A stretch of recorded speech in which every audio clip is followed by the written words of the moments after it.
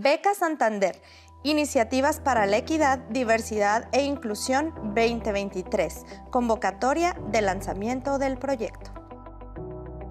La crianza influye en el desempeño académico de las personas que tienen a su cargo infantes y por lo tanto limita su estancia en las bibliotecas. Además, puede generar prejuicios de género o situaciones de discriminación. El SUBA actualmente cuenta con 48.991 usuarios inscritos entre hombres y mujeres.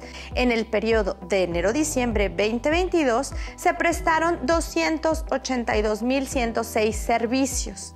De estos, 129.000 fueron solicitados por hombres y 154.000 por mujeres. La biblioteca juega un papel muy importante donde converge la comunidad universitaria busca ofrecer espacios adecuados que brinden acceso a personas que cuentan con hijas e hijos pequeños, ya que las actividades de crianza y cuidado pueden obstaculizar su desempeño académico y limitar su estancia en las mismas bibliotecas.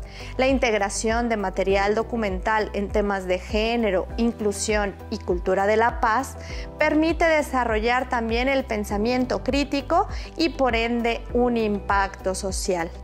Lo que pretendemos será ampliar y actualizar los acervos con libros que incluyan las temáticas relativas a los temas que ya hemos definido, así como ofrecer algún espacio o adquirir escritorios con cuneros para aquellas personas que requieran llevar a sus infantes mientras están realizando actividades académicas dentro de las bibliotecas.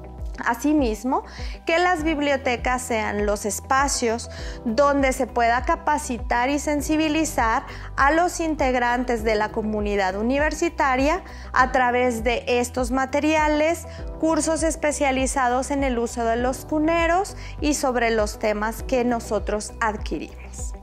La intención pues es también apoyar a lo que es el desarrollo de la igualdad de género y de los proyectos que ya se tienen institucionalmente a través de la unidad de género de la Defensoría de los Derechos de los Universitarios, quienes transversalmente buscan que en toda la institución se tengan espacios incluyentes, diversos y que se eliminen todas estas barreras de diferencia entre hombres y mujeres.